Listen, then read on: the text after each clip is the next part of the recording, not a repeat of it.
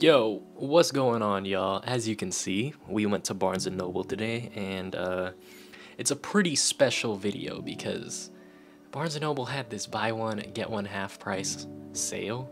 Um, and that's crazy because throughout the time that I've been a manga collector, I've kind of never taken advantage of this sale. Um, but today, clearly, we went and we took advantage of the sale. So this is basically what I saw throughout the store. And yeah, hope you enjoy the video. Um, for the question of the day, let me know what the best manga or light novel or even anime figure that you've gotten on sale, uh, what the biggest discount was.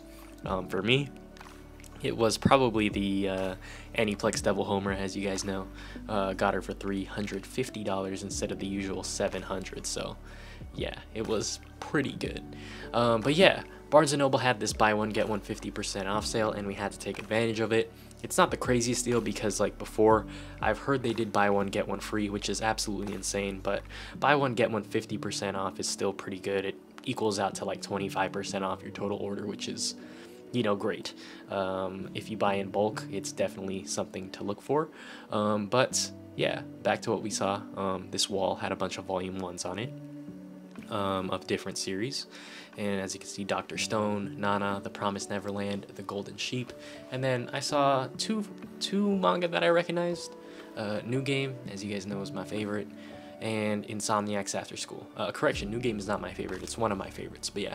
Um, and this Barnes & Noble, sorry if like the, the footage is shaky and stuff, but it was pretty hard to record because for some reason there was like a sea of people over here at like a Thursday, mid Thursday, like 1 p.m. 1 p.m., 2 p.m. So, um, yeah, if stuff gets a bit shaky, it's because, you know, there were people around and I didn't want to, like, get in their way. So, uh, yeah.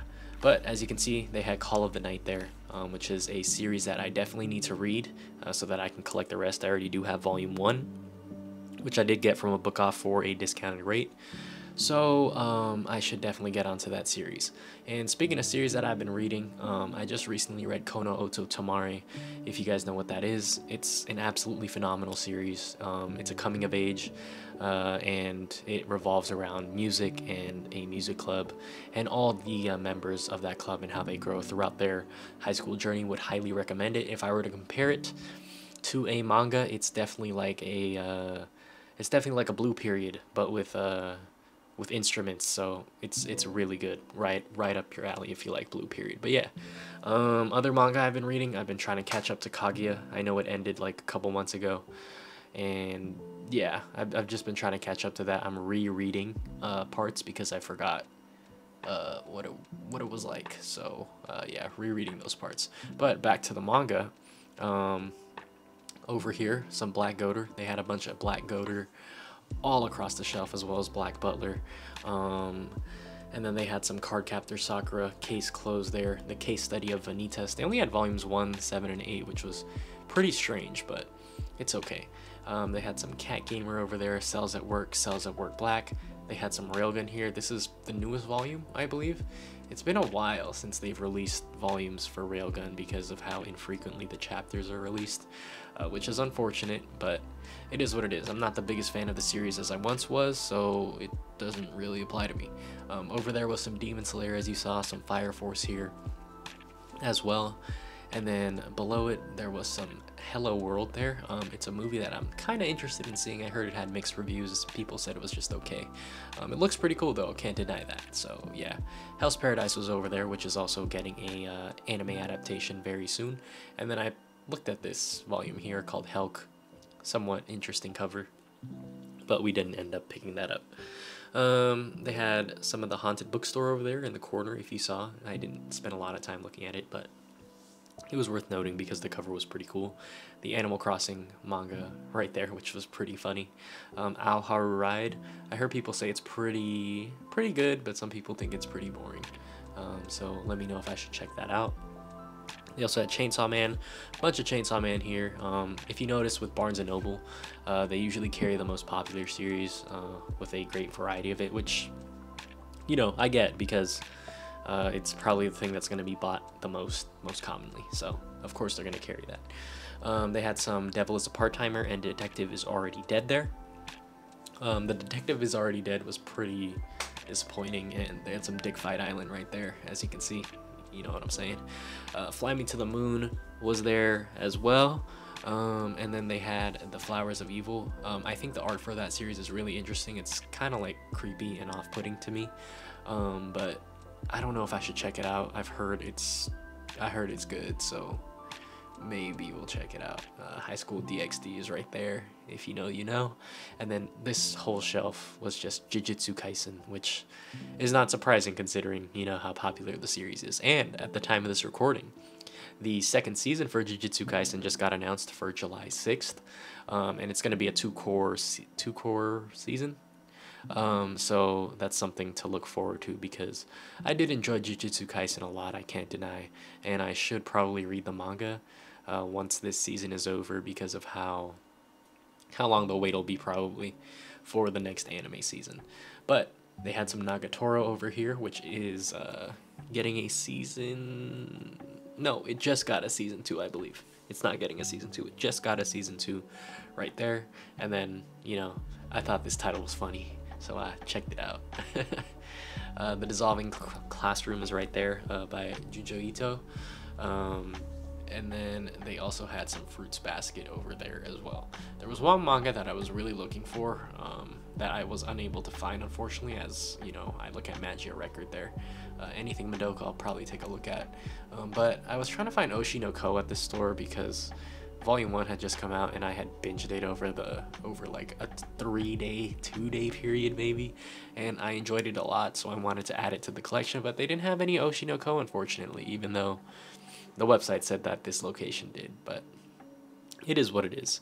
Um, over here was some ReZero, some Ride Your Wave there. I believe Ride Your Wave got a movie, um, if I'm not mistaken, but I'm probably mistaken because uh, I'm, I'm really not sure if it got a movie, to be honest.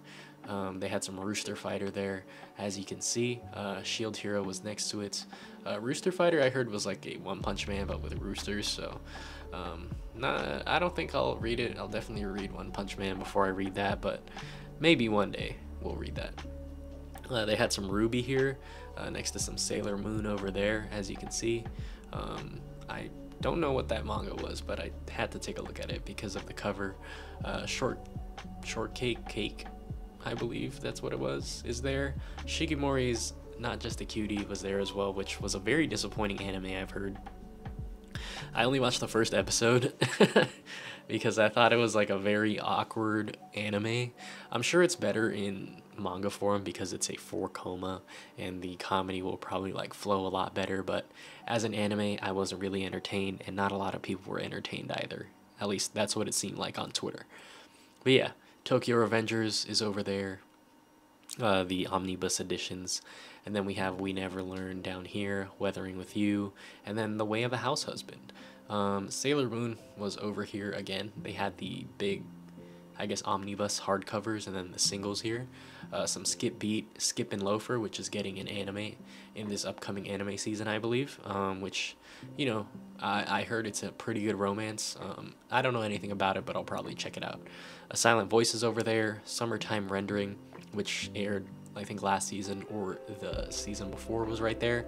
Trinity 7 was here. Um, I really, yeah, I really should get into Trinity 7.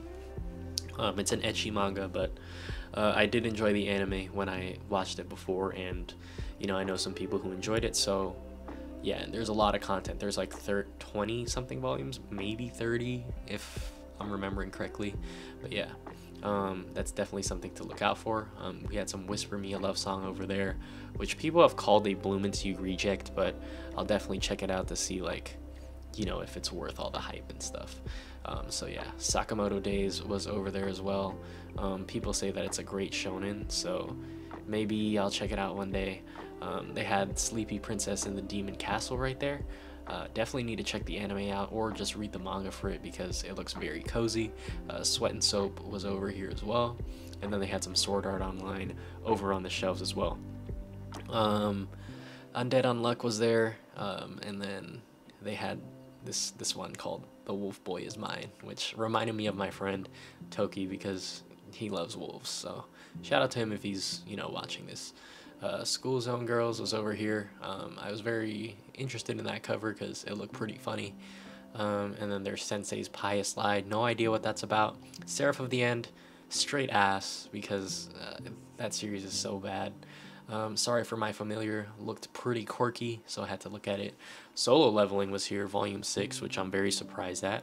Um, that they're all the way at, you know, Volume 6 already. So um, I picked this up, that one up. I don't even know what the cover is because it looked like the girl from Umineko.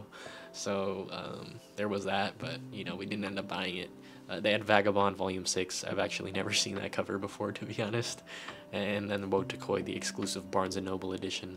I also do know that um, Kinokuniya had their own exclusive edition for the cover as well, so there's that.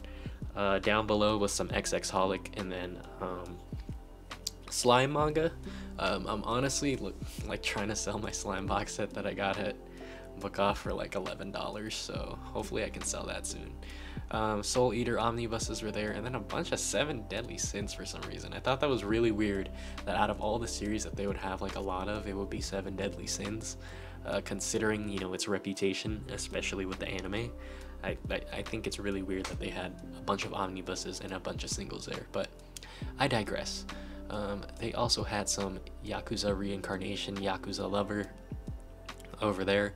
Yona of the Dawn, which got recommended to me in my last video, uh, so I'll definitely check it out. And then Toilet Bound Hanako-kun is over here, which is one of my favorite series. Um, one of the best arts in anime and some of the best paneling in anime. The story is pretty good too. Um, the story is actually very good to me. So it's kind of like a, you know, a good mix of everything. Uh, Shaman King is over there. The omnibuses, I believe that they took up like two shelves. Uh, they had a spot on the other side as well. So pretty popular. And then of course, speaking of popular, we have Spy Classroom. I'm just kidding. We have Spy Family uh, over there, and then Spy Classroom. Which, speaking of Spy Classroom, we got to talk about the anime and how bad it was because that was probably one of the worst things I've ever watched. Uh, of anything that was hyped up as much as it was. Uh, people said the light novel was amazing, and I get that, you know, anime and light novels aren't exactly the best thing to adapt, you know, but it shouldn't have been that bad, honestly. I, I was not engaged at all. I watched two episodes and decided to drop it. So that's what that's everything that needs to be said about it. Um, over here is Your Lie in April, and before that, they had some Vivy um, light novels, I believe, there, in Vinland Saga next to it. Um, and then they had some Zom 100 over there. And then moving on, more Cardcaptor Sakura, like omnibus hardcovers, Berserk singles over here, um, some Beastars. Uh, it was funny because, like, when I was looking over at other shows, there were people at Beastars and they were like, "Yo, it's the furry, the furry manga." So I thought that was pretty funny. And then we have some Blue Period over here, volumes 11 and 12. Um, fun fact: uh, the Blue Period manga in Japan and the Blue Period one in English are pretty much publishing at the same time, which is pretty cool.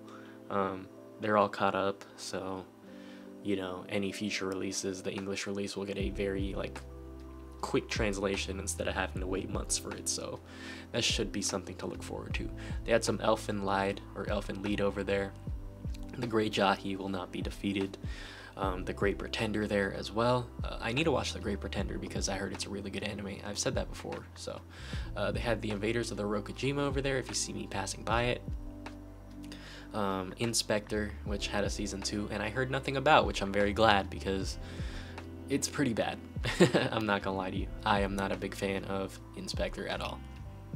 And then over here, we finally got to the Attack on Titan section. Um, the Bakemonogatari section over here with Araragi on the cover, uh, looking absolutely sexy. So there was that um, banana fish over there. Uh, Blue Lock, man, Blue Lock is big surprise to me because it's very enjoyable. Um, especially when I turn my brain off, but it's very enjoyable and it's very fun. I can't deny it. It's a bit edgy, but you know, with the amount they play into that edginess, it's it's very entertaining, and I'm definitely gonna read the manga after this anime ends. Uh, they had some Dandadan over here, um, and then they had some Drifting Dragons, which I have no idea what that's about. Dragon Quest, which I've seen a bunch at Kinokuniya. Um, I don't know if that's based on like a video game or something. Sounds familiar. Uh, they had some Given there, some Gleipnir. Um, they had some Goblin Slayer, some Golden Kamui, which, you know, I heard is a very good manga and a very good anime. Unfortunately, I heard that it all, the anime also got like scrapped. So yeah, there's that. They had some imaginary there, which I had, you know, heard some things about. I believe it's a romance, but don't quote me on that. Uh, might need to check it out. And then they had some kaiju number eight over there. Um, Kakegurui was over here, um, which I'm not a big fan of. It was one of the first anime I tried watching and was not able to do that. Um, they had some Love and Lies there. Um, I heard this is not very good, but I do like how the art looks over there as well. And then Love of Kill, uh, you know, caught my eye, and so did Love and Focus. These two caught my eye.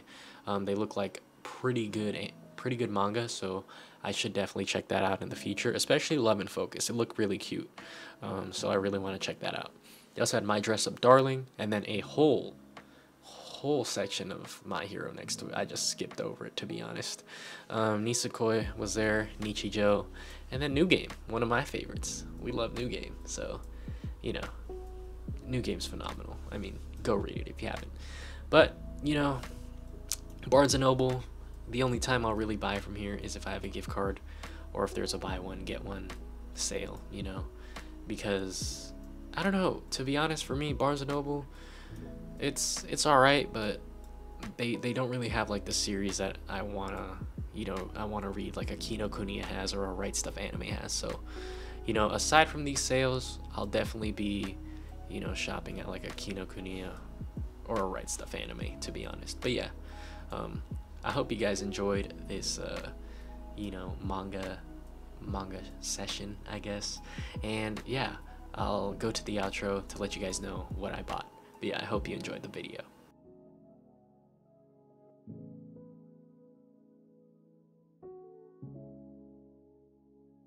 Alright y'all, we're back and I low-key forgot to, uh, uh, you know, record an outro for the video, so we're doing this now, it's like 1 a.m., so please bear with me if I seem very tired. But we were able to get four manga um, for an average price of $11 per manga, which is good because most of these manga were like $14 retail, $13 retail, so that's pretty good.